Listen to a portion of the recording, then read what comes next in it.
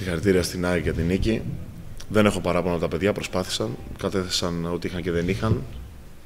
Αλλά στο τέλος επικράτησε η ΑΕΚ δίκαια και καθαρά. Υπάρχει ανάλυση για αυτό το παιχνίδι, αλλά δεν μπορεί να γίνει προφανώς δημοσίως. Ε, για μας το παιχνίδι της Τρίτης είναι πολύ σημαντικό. Μια προσπάθεια τα οποία έχουν κάνει στην Ευρώπη τα παιδιά από την αρχή της χρονιάς φτάνει σε ένα παιχνίδι σχεδόν knockout που αν κερδίσουμε παίρνουμε την πρόκριση. Περιμένουμε τον κόσμο να μας στηρίξει όπως μας στήριξε και σήμερα και αφήνουμε πίσω το παιχνίδι με την ΑΕΚ και προχωράμε στο επόμενο με την Μπάμπερκ. Πετύχαμε μια δίκαιη και σημαντική νίκη επί μιας ομάδας η οποία έχει πολύ αξιόλογη πορεία και στην Ελλάδα και στο Champions League. Ε, ένα καλό ρόστερ με μια πολύ καλή λειτουργία.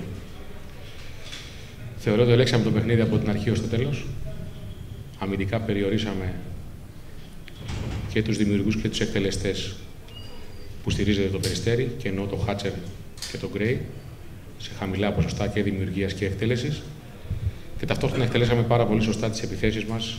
Απλώς δεν είχαμε κατάληξη πολλά ανοιχτά σου τα οποία δημιουργήσαμε. Αυτό συνεχίστηκε και στο δεύτερο ημίχρονο καθ' όλη τη διάρκεια του παιχνιδιού. Και γι' αυτό πιστεύω ότι κερδίσαμε απόλυτα δίκαια και αξίζω συγχαρητήρια στους παίκτες για την προσπάθειά τους.